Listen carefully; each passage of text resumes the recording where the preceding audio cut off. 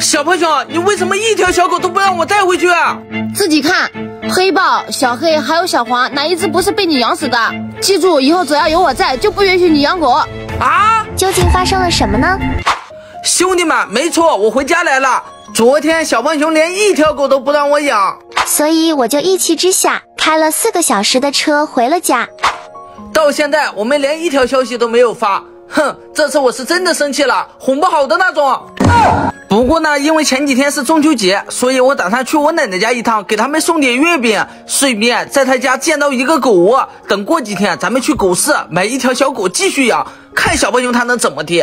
爷爷奶奶，祝你们中秋节快乐，一人一个月饼。另外，我准备在你们家见到个狗窝，你们会不会支持我？支持。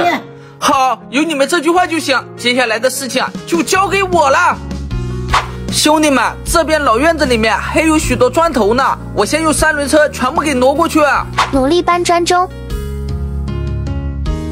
我奶奶也来给我帮忙了。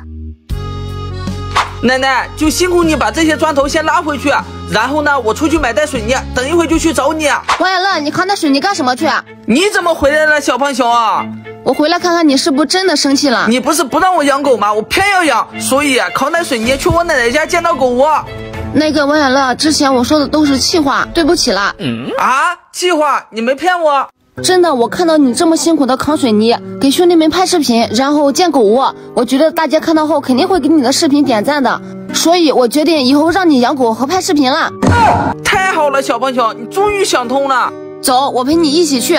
好，奶奶，我告诉你们一个好消息，小胖熊终于同意让我养狗和拍视频了。没错，我今天要陪着王小乐一起建造狗窝。